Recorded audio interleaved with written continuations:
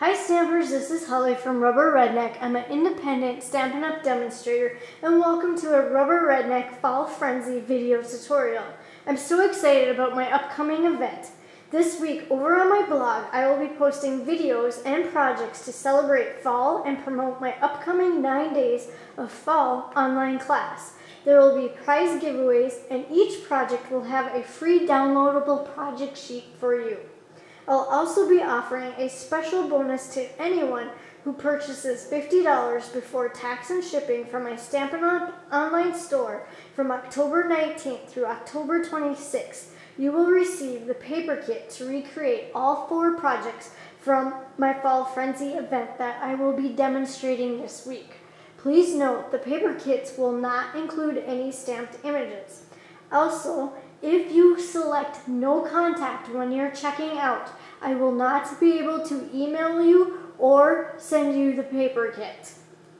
For all the details about my upcoming event this week, visit my blog, rubberredneck.typepad.com. My first project for this Fall Frenzy event is a fun little place card that you can make for fall or for Thanksgiving for all your fun events. Here's the front view, and then when you open it up, here's the inside view of that place card. Now I did something a little fun and different with this. I stamped grateful for you, and then I thought you could either write little things that you're grateful about for each person to keep, create like a keepsake. And then on the front of this, you would either just write their name right there on that very vanilla cardstock. Just a fun idea for you. And another thing you could do too if you wanted to take it another step farther, put a picture inside here of just you and that person as well. It would make a great little keepsake.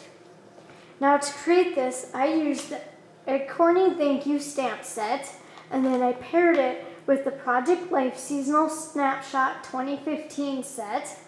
And then I'm also going to be using the Acorn Builder Punch. And you can actually purchase the Acorny Thank You stamp set and the punch together in a bundle to save 15%. And this stamp set is in our holiday catalog and it is on page 45 here and it's got some projects showing you how to use this. This is a really cute and fun little set.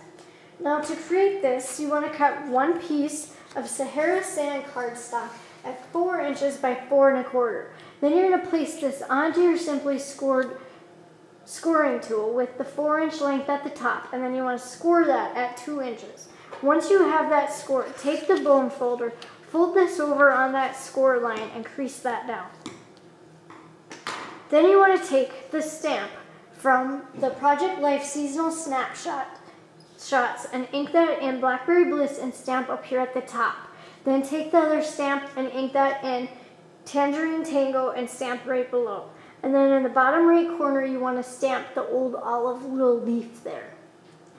Then you're ready to decorate the front of this. You want to cut one piece of very vanilla cardstock at one and three quarters by four inches. Then you're going to glue this to your Sahara sand cardstock. And you're just going to place that right in the center. You want to cut one piece of the Farmer's Market Designer Series paper in that old olive pattern. Cut that at a half an inch by four inches. Then you're going to glue this across the bottom of your very vanilla cardstock. You just want to line up your edges here. And then you want to take the stamp from Acorny Thank You, ink it in soft suede, and then stamp the little top for the Acorn and cherry cobbler. Then you're going to stamp both those images onto some very vanilla cardstock, and then you're going to take your builder, your Acorn builder punch, turn it over, and then punch out your image. And you'll punch out your first image here, and then you'll punch out this little Acorn off to the side. So it's two pieces. It's really cute and really fun.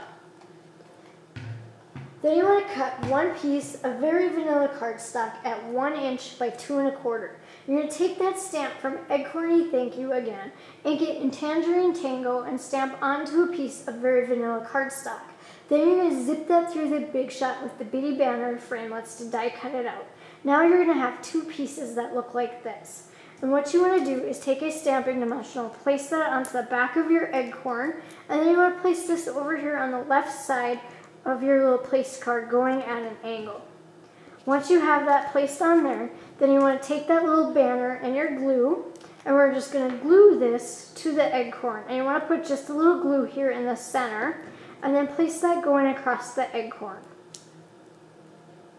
And then that completes the little place card. Very fun and easy to create on your own. Be sure to visit my blog, rubberredneck.typepad.com to get the free project sheet, find out about the prize giveaways, and my upcoming 9 Days of Fall online class, and also where to purchase all these supplies to recreate your own. Thank you for watching.